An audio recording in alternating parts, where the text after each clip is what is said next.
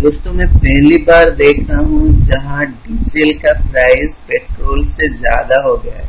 बचपन से हमेशा डीजल का प्राइस पेट्रोल से दस रुपया, बारह रुपया या पंद्रह रुपया तक कम रहता था। आज मैं देख रहा हूँ डीजल का प्राइस पेट्रोल से ज़्यादा हो गया है।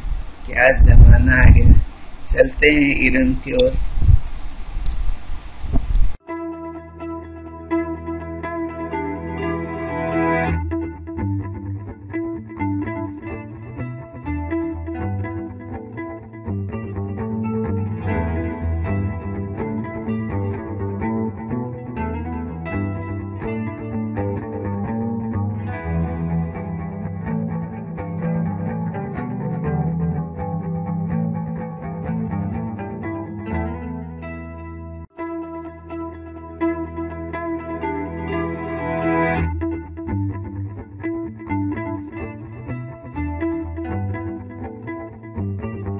दोस्तों, मैं अभी एक ऐसा जगह पे हूँ, जहाँ भारत का दूसरा जालियानवाला बाग कहा जाता है। वहाँ पर इस स्थान पे हुआ था। ये भद्रक का इरम है।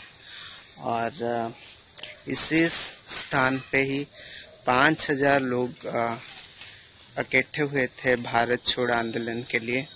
और उन पे गोली चलाई गई और 26 जो स्वाधीनता संग्रामी थे वो शहीद हो गए और उनको यहीं पे समाधि दी गई थी। तो ये प्लेस बहुत ही खराब हो चुका है और आ, आ, कोई मेंटेनेंस नहीं।